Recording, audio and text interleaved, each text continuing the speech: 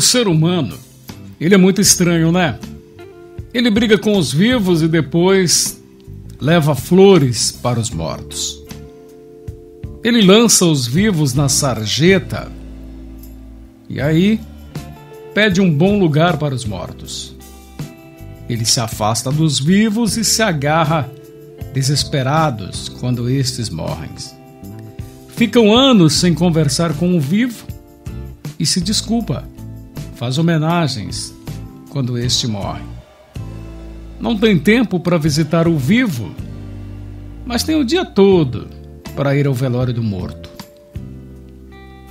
Critica, fala mal, ofende o vivo, mas o santifica quando este morre.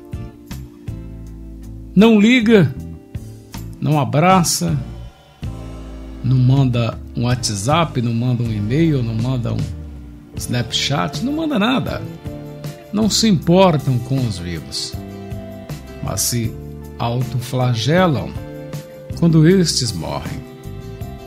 Aos olhos cegos do homem, o valor do ser humano está na sua morte e não na sua vida. É bom a gente repensar isto, enquanto ainda estamos vivos, né?